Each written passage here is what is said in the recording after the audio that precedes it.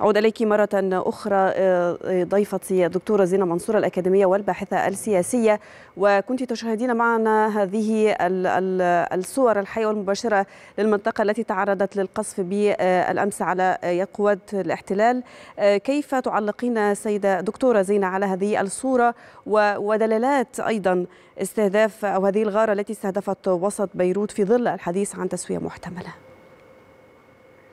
هي رسالة نارية سيدتي الكريمة بأن ساحة المعركة مستمرة والحرب مستمرة برغم أن لبنان خلال وجود الموفد الأمريكي المعزز من قبل الرئيسين بايدن وترامب ليصل إلى اتفاق شهد حوالي اليومين من التهدئة.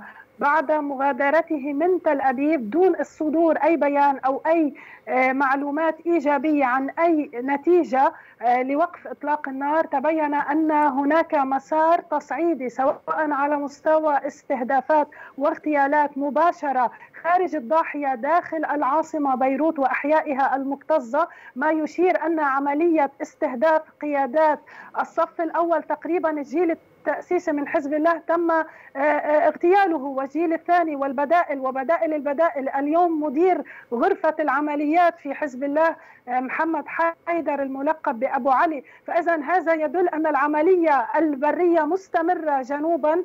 عبر محاولة عزل منطقة مرجعيون ومحاصرة أيضا بنت جبيل والخيام والنبطية وهذه مناطق لها رمزية شديدة لدى حزب الله وبيئته الحاضنة. وفي نفس الوقت داخل مربع بيروت العاصمة وأحيائها كمنطقة البسطة المكتظة سكانيا. وفي هذه النقطة بالذات التي شهدت محاولة اغتيال مسؤول الأمن والارتباط في حزب الله وفي قصفة سابقا منذ أسابيع. فإذا كل ذلك يدلل أن هناك ضوء أخضر. أمريكي أوروبي يتيح لإسرائيل بعملية القضاء على الأذرع في المنطقة في المنطقة وليس حصرا في في لبنان أو في حزب الله. واليوم الجانب الإيراني يعلم ذلك وحزب الله أيضا يعلم ذلك.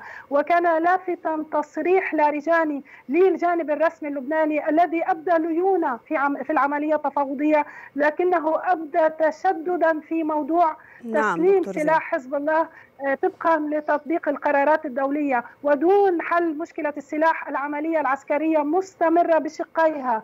الأهداف داخل نعم. المربعات الثلاث ضاحية بقاع وجنوب وأيضا عملية الجوية.